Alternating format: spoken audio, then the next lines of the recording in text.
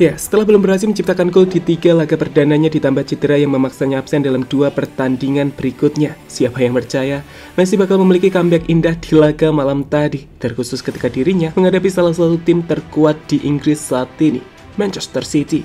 Tapi inilah keajaiban Messi. Dijaga ketat oleh para pemain Manchester City di sepanjang 90 menit laga, dirinya berhasil lolos dalam sebuah momen sebelum akhirnya membuktikan kelasnya sebagai pemain terbaik di dunia. Dan untuk itu, inilah reaksi dunia atas kembalinya sentuhan Midas Leo Messi.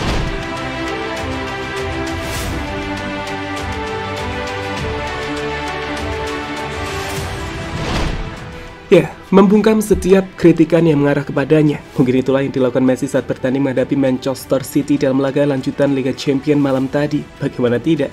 Ketika banyak orang mempertanyakan gol debutnya untuk tim PSG musim ini, Messi membalasnya dengan cara yang spesial menghadapi Manchester City yang dapat dikatakan sebagai tim tersolid Liga Premier Inggris saat ini. Ia buktikan jika keajaiban hanya membutuhkan waktu untuk kembali dan kita semua tahu gol seperti apa yang diciptakan Lapulga.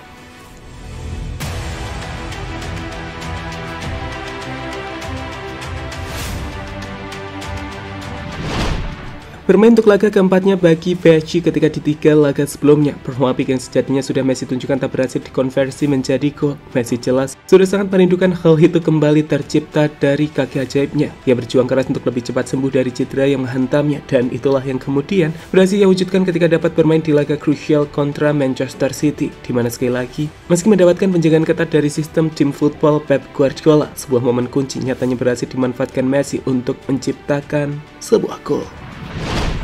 Melihat Messi pada akhirnya berhasil menciptakan gol perdananya terkhusus saat harus menghadapi City, reaksi dunia pun meledak hari itu. Berbagai pujian mengarah kepada bintang Argentina tersebut di mana salah satunya ditunjukkan oleh pelatih Manchester City itu sendiri Pep Guardiola yang menilai jika tak mudah untuk menghentikan Messi bahkan meski dirinya baru pulih dari cedera. Anda tidak bisa menahan Leo selama 90 menit.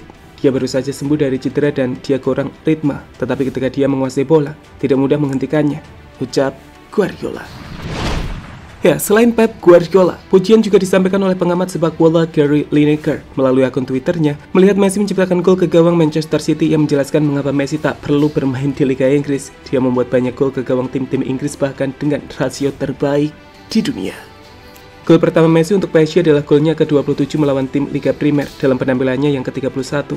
Semua di Liga Champion dan semua melawan apa yang disebut enam besar dan beberapa mengatakan dia tak bisa melakukan di sini, tulis Lineker di akun Twitternya. Sementara itu, berhasil menjadi pemain yang memberikan asis untuk gol pertama Messi ke Mbappe jelas sangat bahagia. Melalui akun Instagramnya, Mbappe memposting foto dirinya bersama Leo Messi yang menggambarkan hubungan baik keduanya. Hal yang juga kemudian diikuti oleh aksi serupa ketika Messi memposting foto dirinya bersama Mbappe dan juga Neymar Junior.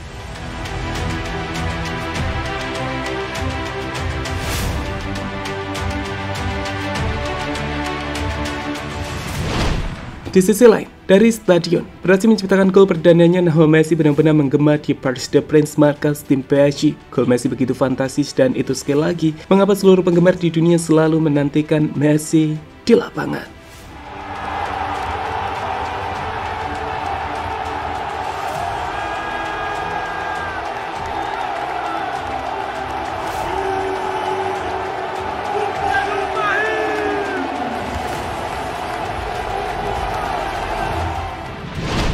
Ya, terakhir, ucapan terima kasih juga diberikan oleh Presiden klub PSG Nasser Al-Khelaifi mendatangi Messi di locker room. Sebuah pelukan hangat sang presiden berikan kepada pemain Argentina tersebut yang baru saja mereka datangkan. Mereka memiliki kepercayaan besar kepada Messi dan hal itu sudah menjadi sebuah kebahagiaan yang pada akhirnya Messi dapatkan bersama tim barunya Paris Saint-Germain.